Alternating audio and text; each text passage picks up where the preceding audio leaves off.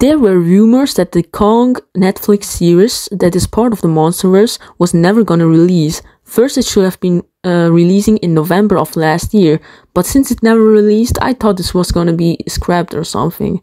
Luckily, it wasn't because we just got a new trailer, which I'm gonna break down for you guys. The show starts off with some humans looking at the map, what I presume is Skull Island. It's interesting, they're probably planning their journey and yeah i'll see the characters are not anime as many people thought and it was supposed to be. It is animated but it looks more like a cartoon than actually anime. I quite like this. It reminds me of the old kong cartoons from 2005 or something like kong and atlantis. I'm not sure how it was called but something like that. It looks pretty cool then we see a helicopter that is coming towards the island and there are some main characters i presume they are main characters uh, on the island. I think the helicopters wanted to save them. However, a giant octopus destroys the helicopters and also destroyed the dream of coming back home. Then there is a particular creature that looks like a sand bug. I mean, it's a bug that is burrowed under the sand, which suddenly attacks one of our main characters and is about to devour him. It looks pretty cool. Then there is a shot of a particular creature. I don't understand what creature it is. I don't think we've ever seen that in the comic books from Skull Island or anything. It is something interesting about this trailer that there are many creatures we've never seen before, but I'm hyped actually.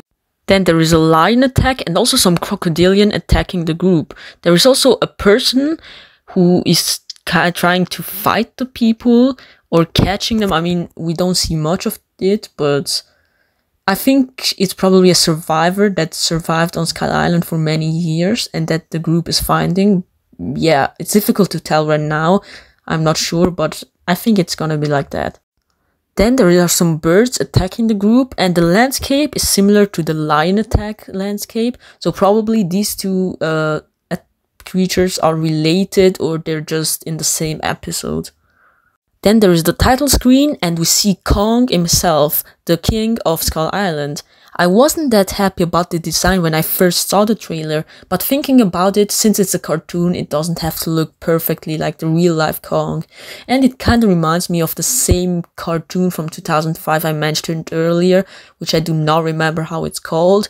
But yeah, maybe on the first impression it didn't look that good, but it's actually pretty okay. And then we see that the series is gonna release on the 22nd of June in 2023 on Netflix. And it's not that surprising. I mean, you might think it's pretty, pretty early. I mean, it's less than a month. But to be honest, Netflix is kind of famous for promoting their series and shows quite late.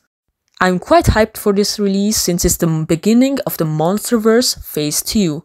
Are you just as hyped as me? Please leave a comment. And I think that's it for today. See ya, guys.